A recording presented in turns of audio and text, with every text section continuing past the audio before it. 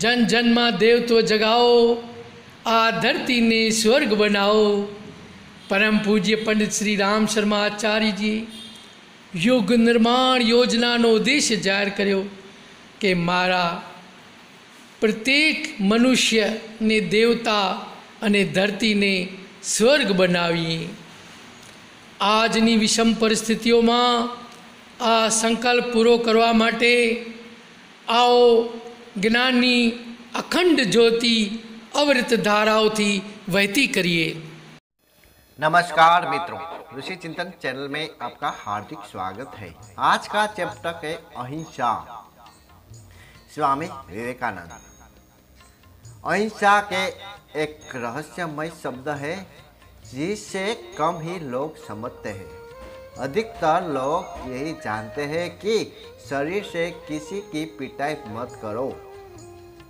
किसी को घायल मत करो। किसी को जान मत लो।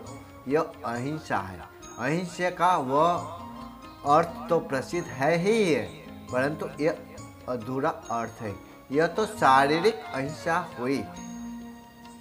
इसके अतिरिक्त, यदि किसी निर्दोष व्यक्ति पर आप कठोर भाषा बोलते हैं, उसकी खिल्ली उड़ाते हैं, उस पर व्यंग करते हैं, उसको व्यर्थ में अपमानित करते हैं, उसे छोटा सिद्ध करने की कोशिश करते हैं तो यह भी हिंसा है।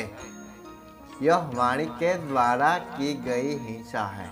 इसी प्रकार से दूसरों के प्रति मन में बुरी भावनाओं रखना यह भी हिंसा है। यह मानसिक स्तर की हिंसा है। जैसे कि कोई व्यक्ति मन में ऐसा सोचे कि, हे भगवान, मेरे पड़ोसी की टांग टूट जाए, इसका मकान गिर जाए, इसके गोदान में आग लग जाए, उसका बेटा दुर्घटना में मर जाए। यह व्यक्ति न्यायालय में मुकदमा हार जाए, इत्यादि। इस प्रकार का अनिष्ट चिंतन मानसिक हिंसा कहलाती है। तो यह तीन प्रकार की हिंसा हुई, शारीरिक, वाचनिक और मानसिक।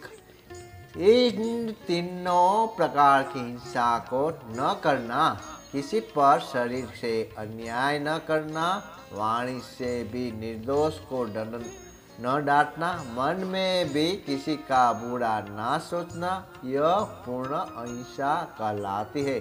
जो अहिंसा का पालन करता है, वह सदा प्रसन्न रहता है। उससे ईश्वर का आशीर्वाद मिलता है।